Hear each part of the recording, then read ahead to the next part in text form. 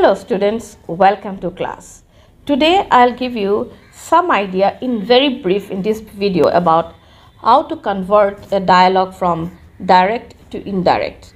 Now in the board exam, you will be given a comic strip with, in a dialogue format with characters in it. Then you will be given a paragraph where you have to fit in the blank, you know, complete that particular paragraph. Now some students are a little confused. There's nothing to be confused about because part of the exercise would be done for you all. You only need to do a little bit. What is that little bit? First of all, whenever you have a dialogue format, please read the dialogue carefully. Now when you're reading the dialogue, you will find that there is a verb in the dialogue. Obviously, without a verb, you cannot write a sentence. After finding that particular finite verb, you know, the verb, you have to find the tense of that verb, whether it is present tense, past tense or future tense. Now, if it is obviously in the dialogue, it will be in the present tense. It is in the direct speech. Now, if it is in the present tense, which present tense? Simple present, present perfect, present continuous or present perfect continuous? Now, if it will be in any of these present tenses, it will be co converted to the corresponding past tense. Simple present will be converted to present uh, simple past, present perfect to past perfect, present continuous to past perfect continuous. Okay. So, uh, that is how it will be done. In case if you in the dialog box the statement spoken by the character is in the simple past then it will be converted to past perfect.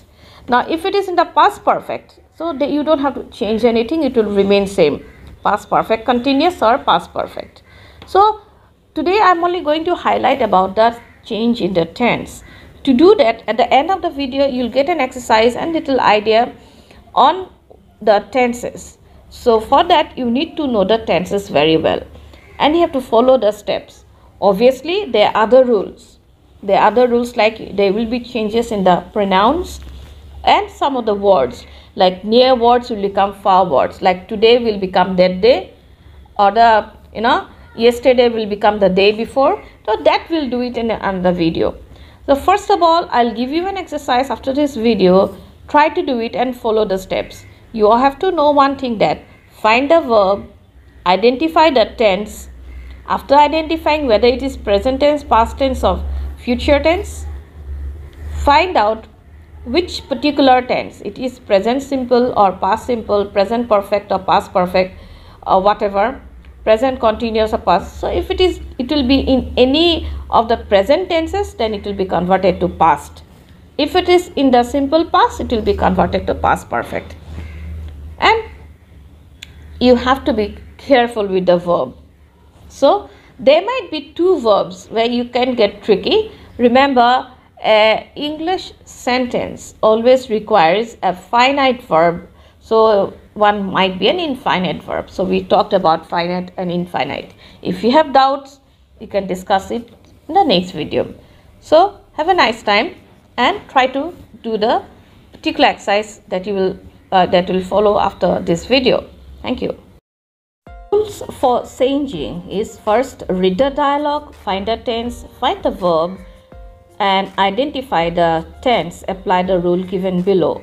So tense play a major role. So here's a list of the direct and the indirect changes you have to do in the tenses. Simple present to simple past, so you can go and read it and find out. Now finally the exercise. Read the dialogue boxes carefully